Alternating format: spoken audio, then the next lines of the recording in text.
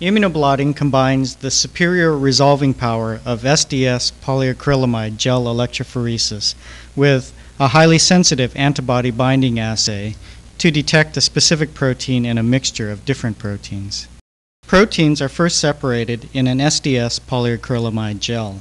Then, in the blotting step, the proteins are transferred to a sheet of nitrocellulose membrane. The gel containing the separated proteins is placed on the membrane.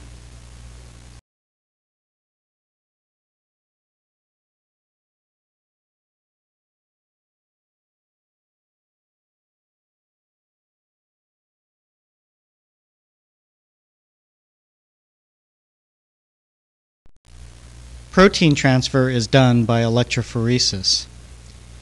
In the electric field generated by a power supply, the proteins coated with negatively charged SDS migrate toward the positive electrode.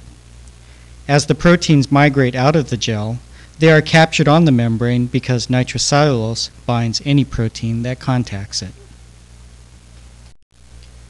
The proteins stick to the membrane in the same positions they had in the gel. Thus, the membrane is a blot of the gel. The gel is discarded and an inert protein such as serum albumin is then used to coat the membrane so no other proteins will stick. A primary antibody chosen to specifically bind only the protein of interest, the red one here, is then added.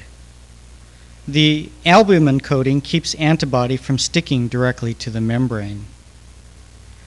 After a washing step, only the primary antibody that is bound to the red protein remains. Several methods are used to detect the antibody labeled protein. All use a secondary antibody which binds specifically to the Fc domain of the primary antibody. In one approach, the secondary antibody is linked to an enzyme so its location can be determined by a chromogenic reaction. The enzyme cleaves a substrate to produce a colored product that precipitates onto the membrane near the antibody. The blue colored spot on the membrane shows the location of the enzyme linked antibody and thus the position of the protein of interest.